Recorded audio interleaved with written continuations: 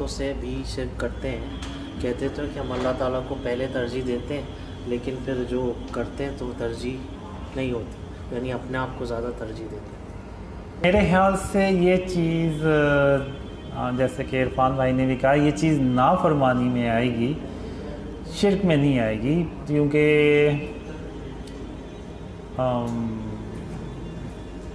शिरक तो वो है कि जो, यानी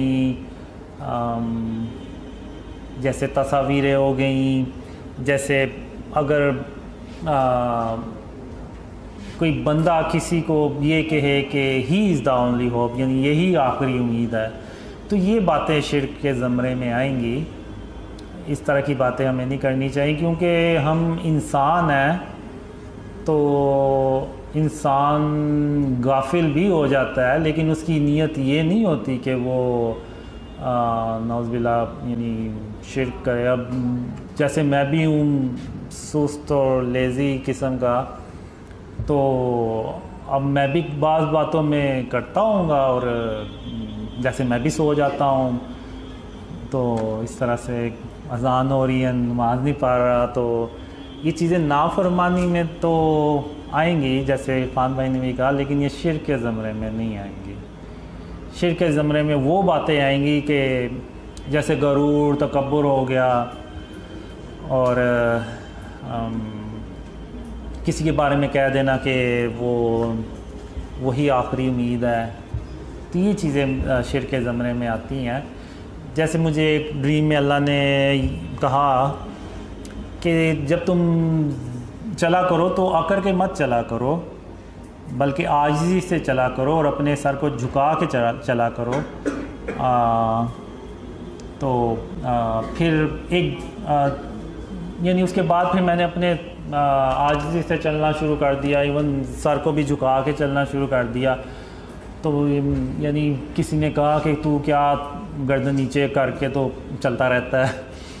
तो फिर एक दूसरे ड्रीम में अल्लाह हातमनबीन मोहम्मद सल्लल्लाहु अलैहि वसल्लम ने मुझे कहा कि, कासिम, तुम इस नीयत से इस सर को झुका के चला करो कि अगर मैं, यानी इंसान ना होता और मुझे दुनिया के काम ना करने होते तो मैं हर वक्त अल्लाह के आगे सजदे में रहता। तो इस नीयत से तुम सर को झुका के चला करो।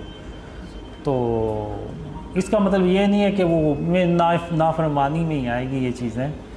क्योंकि इंसान बहुत ही कमज़ोर पैदा किया गया इवन आ, मैं भी खुद भी आ, अभी तो है नहीं उस वक्त जब मैं अल्लाह का अल्लाह की अम, वादों का इंतज़ार करता रहता था तो मुझे भी दिल में आता था पता नहीं अल्लाह के वादे कभी पूरे होने भी हैं या नहीं।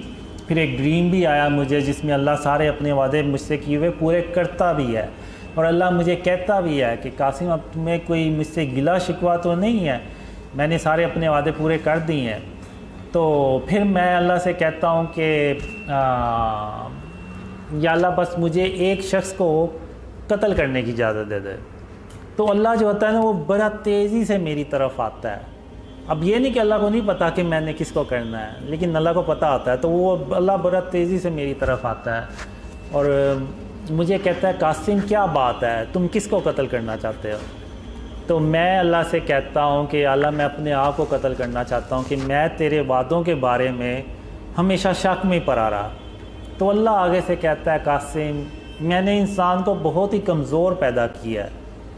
तो तुम ये उल्टी बातें सोचना छोड़ दो और आओ आओ अब मैं तुम्हें घर छोड़ देता हूँ। तो इंसान को अल्लाह ने ना बहुत कमज़ोर पैदा किया है। तो अब ये चीज़ें नाफरमानी में आ सकती हैं, लेकिन शिरक में नहीं, क्योंकि अल्लाह को, अल्लाह ने इंसान को ना कमज़ोर पैदा किया, इंसान बड़ा कमज़ोर है।